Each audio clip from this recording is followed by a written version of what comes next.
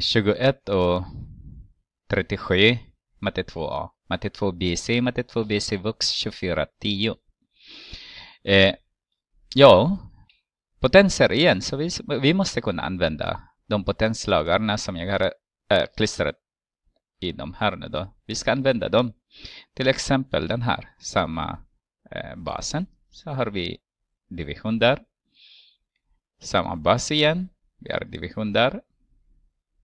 Ja, ingenting där så kan vi väl räkna. Hoppas jag att vi kan räkna den. Och alla 17 ser ni där. Eh, samma bas egentligen. Och det är också division. Och det kan vi använda. Nästan allting här kan vi använda om division. Som jag kan lägga dem lite högre där så att vi får plats. Okej. Okay. Ja, det enklaste.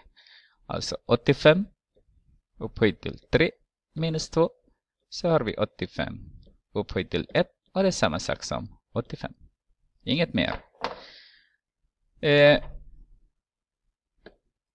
B. Har vi 3 upphöjt till 2, den här. Så har vi 3 gånger 3 minus 2 minus ska det vara. 2 gånger 2 multiplicerar med 2 så har vi 9 minus 8. Här Har vi 1. Alltså 3 gånger 3 är 9. 2 gånger 2 gånger 2 är 8. 2 gånger 2 är 4. 2 gånger, äh, 4 gånger 2 är 8. Så blir det 1 då. C. C. är 26. Upphöjt till 2. Här har ni 226. Tänk på här nu x plus x. Vad får ni? Ni får 2x. Så om ni har 2 26. Det måste vara 2 gånger 26. Hoppas att ni, ni förstår det. Så har vi 2 gånger 26 där. Och jag ska skriva här. Det finns osynlig ettan där. Så att ni förstår. Så har jag samma bas. Samma bas fortfarande.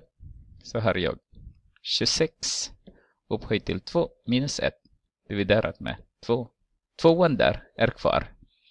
Så har vi 26 dividerat med 2. Så har vi 13. Det är inte så svårt. Och det är exakt samma idé. Vi ska titta på det. Så har vi 1. Har vi 1, 2, 3, 4. 4 stycken 17. Så har vi idé om jag skriver den. Fyra stycken 17. Och där under har vi två stycken 17. Så ser ni att 17 och 17, det blir 1. Och 4 och 2, det blir 2. 4 dividerat med 2 är 2.